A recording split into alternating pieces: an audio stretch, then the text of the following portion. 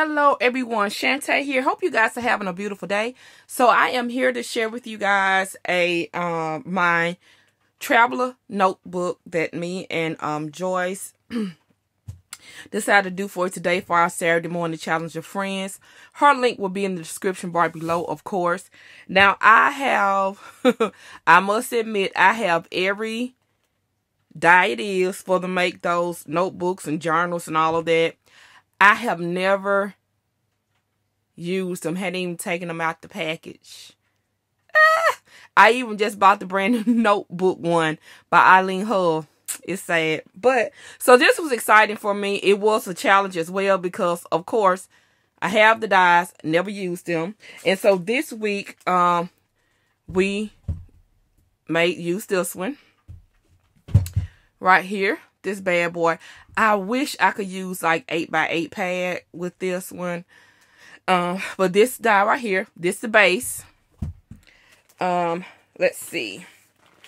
I also used um this one, but I only used the pin loop on this one.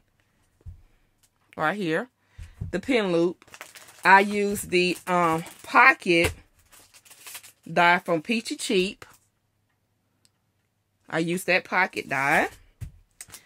Um, I also used the Kraft-Tex. Everybody's familiar, should I'm sure with Kraft-Tex. I used that for the loop.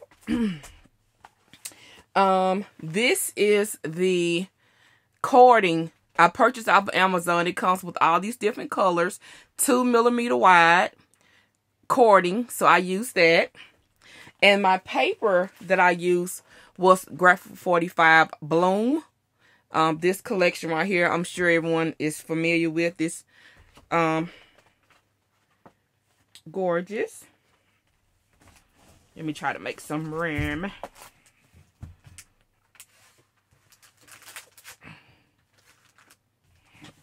So, this is the bloom.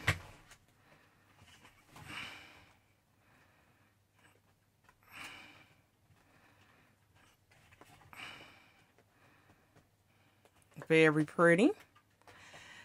All right. But I used it, of course, in the 12 by 12. And I also used their solids, the Paterson solids, and the stickers that goes with that. And I, um, because I bought the dies, but I hadn't bought a lot of stuff to um use with it. I did not have a lot of inserts. So I started um Googling um you know, journal files. And so I found one on Etsy. They had it on sale and I downloaded a printable file and I made my own inserts. And, um, okay, you guys, sorry. I, forgot what I was left off when my, uh, my, uh, FaceTime went off. Uh, one of the inserts, uh, because I didn't know which paper everybody used to do their inserts and all of that, uh, if they make theirs instead of buying them. I, um, have a lot of digital papers and so, this um, premium pre presentation paper was um, recommended for that. So I use this for one of the booklets and it's thicker, of course, than regular printer paper. So I use that, but this stuff is expensive. So I only use it in one. The rest of them, I use regular printer paper until I find out what everybody who makes their own use. And so if I don't forget, I'll link um, the file in the description bar below if you want to purchase it. Here is um, my book. All right, so here's my book. Um, I the first mistake I made was I cut it out wrong. I wanted this to be my front, but this paper I only have the one pad, so I wasn't gonna um throw it away. So I just flipped it and said, "Well, I just use this because um I didn't put try to do no dangles or anything else on it. I'm actually going to see if I can actually use this. Um, Jarn, I really need to start writing more. So hopefully I'll actually use this. All right, so here's the... Oh, and I laminated this with uh my laminator. So it's laminated, the cover. All right, so here is the first little insert. Use the paper and then um, it was, I should have not, I should not have added any stickers to these.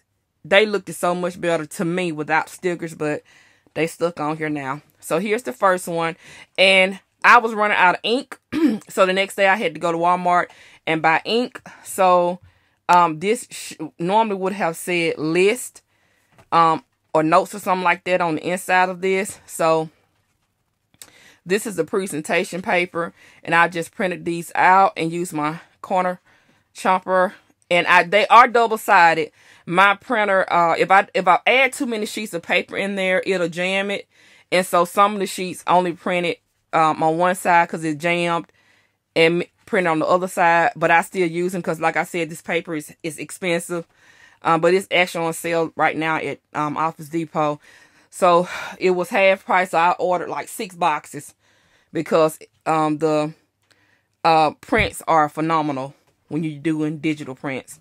This is the second insert right here. And this one says when whenever life what did it say? Whatever life plans plants you bloom with grace. It's a I guess a French proverbs. I don't have my glasses on, you guys, so I can't see too uh, far without them. And this one is my meal planner. Now, I just purchased a program to help me lose some weight. And I have been saying I'm going to lose weight for years and been putting it off. So I am um I have no choice now. I'm gonna say it that way, but to get some weight off. So I'm gonna need all kind of grace. So this one is the weekly planner for the meals, and so I printed those off so I can try to plan on the plan I have. I just have to. I'm just responsible for one meal a day. So I pray I can pull it off because the plan was very expensive. All right, so um, that's that one. This is the Peachy Cheap um booklet. So I have this is how it is right here and two folders right there. I added this on the outside because I cut the paper out wrong. You have to do one straight and then reverse one. And I forgot and I, I didn't want to waste the paper. But this is how the pocket is intended to be. So I just tucked that right on the inside. And then this is the last booklet.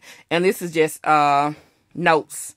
Just for me to write on. And so that's that one that's the back. And i just add the extra one back here. And because it was laminate i used Fabri-Tac to um attach the pocket and the Kraft-Tex pin loop. Um it said that Fabri-Tac will attach the glass so hopefully it will hold this because i don't have um like e6000 into that. I have it i don't know where it's at so hopefully that will work. But this is my first one. I did make some mistakes, but I'm I'm happy with it for for it being my first travel notebook, traveler's notebook. And this is the pineapple printables off of Etsy that I bought the file from. And it was a Midori file. It took me a while to figure out which file would work with this particular journal. And it's the Midori one. And I also bought the personal size one for um the smaller notebooks as well from there since they they since it was on sale i just went on and got both. All right? So that is it you guys. Joy's channel will be in the description bar below. And like i said if i don't forget i'll link everything for you as well. Y'all have a blessed day and i'll be back with another video. Bye